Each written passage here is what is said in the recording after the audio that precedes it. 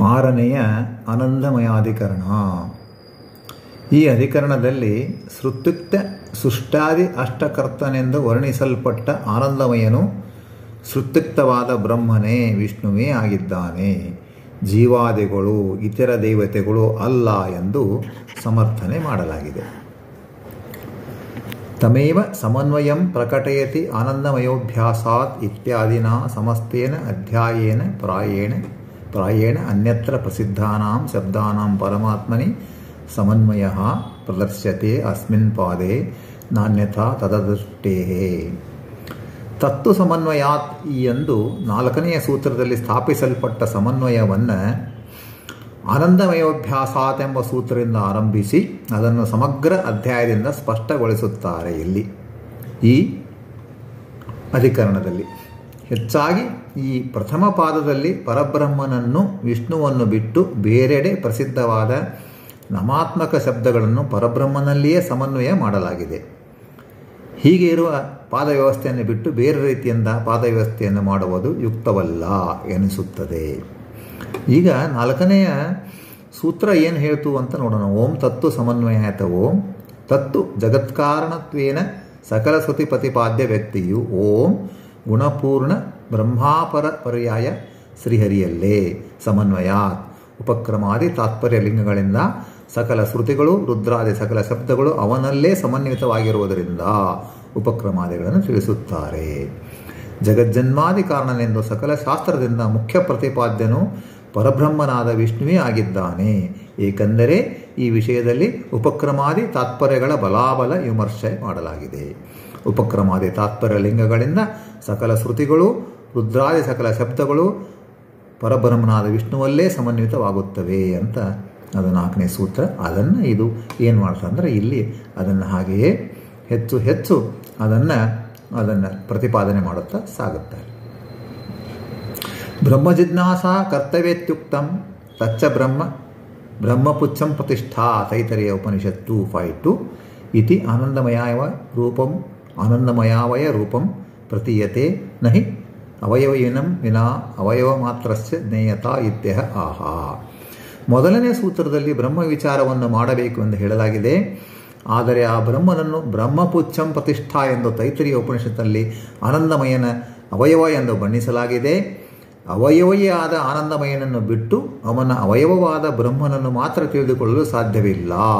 ಹೀಗೆ ಶಂಕೆ ಬರಲು ಸೂತ್ರಕಾರ ಹೇಳುತ್ತಾರೆ.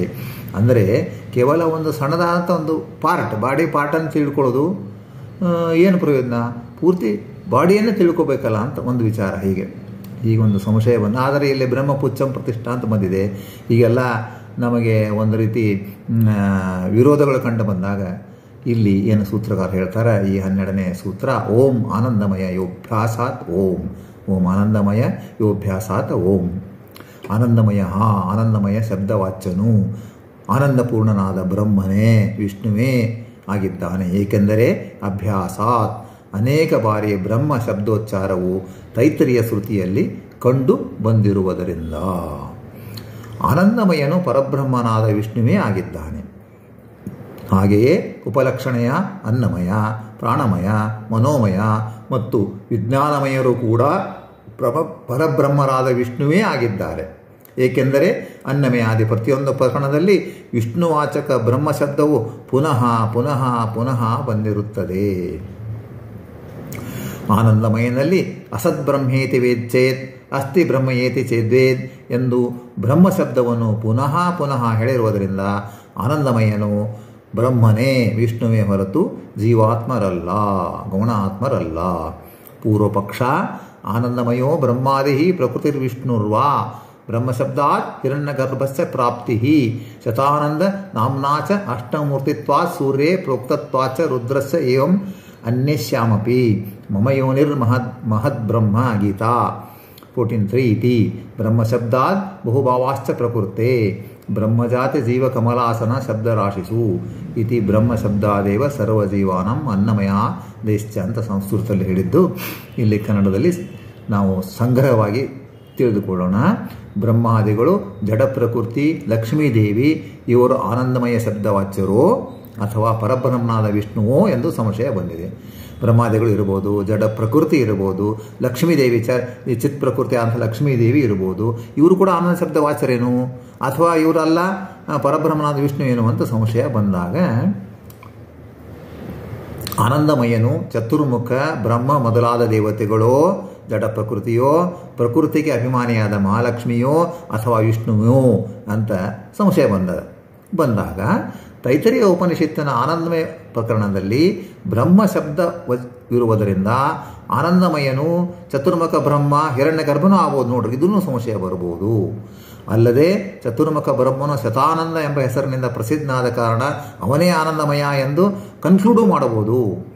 ಆನಂದಮಯನು ರುದ್ರನೂ ಆಗ್ಬೋದು ಏಕೆಂದರೆ ಸೂರ್ಯ ಎಂಬ ಶಬ್ದ ಪ್ರಯುಕ್ತ ರುದ್ರನ ಅಷ್ಟಮೂರ್ತಿಗಳಲ್ಲಿ ಸೂರ್ಯಮಂಡಲವೂ ಒಂದಿದೆ. ಹೀಗಾಗಿ ಅವ ಸೂರ್ಯನೇ ಸೂರ್ಯನಲ್ಲಿರ್ತಕ್ಕಂಥ ರುದ್ರನೇ ಆನಂದಮಯ ಆಗ್ಬೋದು ಅಂತ ನಾವು ಕನ್ಕ್ಲೂಡ್ ಮಾಡ್ಬೋದು ಅದಲ್ಲದೆ ಮತ್ತೆ ಇಂದ್ರ, ಬೃಹಸ್ಪತಿಗಳು ಆನಂದಮಯರೆನಿಸಬಹುದು. ಏಕೆಂದರೆ ಅವರೂ ಸೂರ್ಯನಿಂದ ಉತ್ತಮರಾಗಿ, ಸೂರ್ಯನಿಗೆ ನಿಯಾಮಕರಾಗಿ ಸೂರ್ಯನಲ್ಲೇ ಇದ್ದಾರೆ. ನೋಡ್ರಿ. ಹಾಗೆ ಗೀತಾವಾಕ್ಯದಂತೆ ಬ್ರಹ್ಮ ಶಬ್ದವು ಚಿತ್ ಪ್ರಕೃತಿ ಎನಿಸಿದ ಲಕ್ಷ್ಮೀದೇವಿಯ ನಾಮವಾದ್ದರಿಂದ ಅವಳು ಆನಂದಮಯ ಶಬ್ದವಾಚಳೆ ಆಗಬಹುದು. ಹೈಯೆಸ್ಟ್ ಲೆವೆಲಲ್ಲಿ ಇದ್ದಾಳೆ. ಹಾಗೆಯೇ ವಿಕಾರ ಹೊಂದುವ ಜಡ ಪ್ರಕೃತಿಯು, ಮತ್ತು ಇದು ಏನಪ್ಪ ಅಂದರೆ ಜಡ ಪ್ರಕೃತಿ ವಿಕಾರ ಹೊಂದದಲ್ಲ, ಪಂಚೀಕರಣ ಇತ್ಯಾದಿಗಳಾಗಿ. ಅದು ಕೂಡ ಆನಂದಮಯ ಶಬ್ದ ಆಗುವುದಲ್ಲ. ಬ್ರಹ್ಮ ಶಬ್ದವು ಪೃಹ್ ಎಂಬ ಧಾತುವಿನಿಂದ ನಿಷ್ಪನ್ನವಾಗಿರುತ್ತದೆ. ಪೃಹ್ ಧಾತಿಗೆ ಜೀವ ಎಂಬ ಅರ್ಥವೂ ಇದೆ.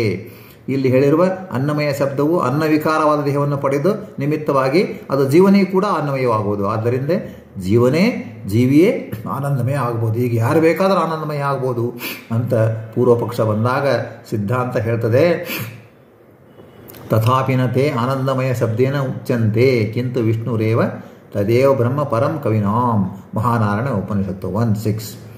ಏತಮೇವ ಬ್ರಹ್ಮೆ ತಾಶ್ಚಕ್ಷತೆ Aitareya Aranyaka three two three twelve ಬ್ರಹ್ಮಶಬ್ದ ಪರೇ ವಿಷ್ಣು ನಾನ್ಯತ್ರ ಕ್ವಚಿದಿಶ್ಯತೆ ಅಸಂಪೂರ್ಣ ಪರೇ ಯಸ್ಮಾತ್ ಉಪಚಾರೇಣ ಮಾ ಭವೇತ್.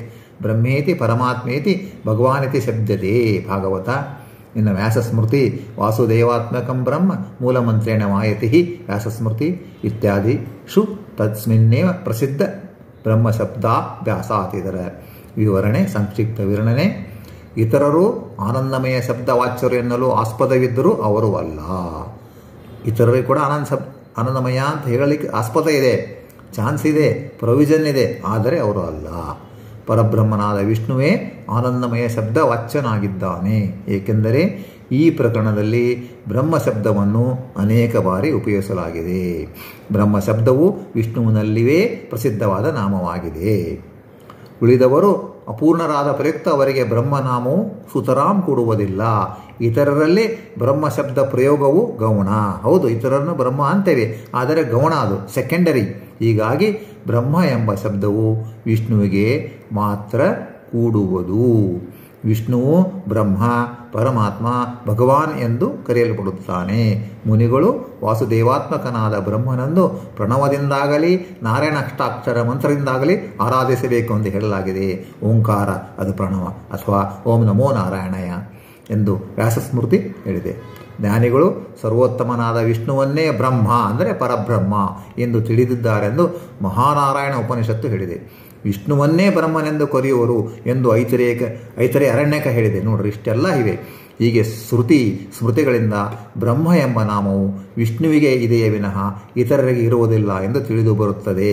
ಆದ್ದರಿಂದ ಆನಂದಮಯನೆಂದರೆ ಬ್ರಹ್ಮನೆಂದು ಕರೆಯಲ್ಪಡುವ ವಿಷ್ಣುವೇ ಆಗಿದ್ದಾನೆ. ಆನಂದಮಯನು ಪರಬ್ರಹ್ಮನಾದ ವಿಷ್ಣುವೇ ಅಂತಕ್ಕಂಥ ವಿಚಾರವನ್ನು ಇಲ್ಲಿ ಏನಪ್ಪ ಅಂದರೆ ಒಂದು ವಿಶೇಷವಾಗಿ ಸಿದ್ಧಾಂತ ಮಾಡಿ ಹೇಳಿದ್ದಾರೆ. ನಾವು ಇನ್ನು ಮುಂದೆ ಈ ಒಂದು ಆನಂದಮಯದ ಅಧಿಕರಣದ ಸಂಗತಿ ಪಂಚಕಗಳನ್ನು ಮತ್ತು ಆನಂದಮಯ ಅಧಿಕರಣದ ಮುಂದಿನ ಸೂತ್ರವನ್ನು ಮತ್ತೆ ನಾವು ತಿಳಿದುಕೊಳ್ಳಲು ಪ್ರಯತ್ನ ಮಾಡುವ ಹರೇ ಶ್ರೀನಿವಾಸ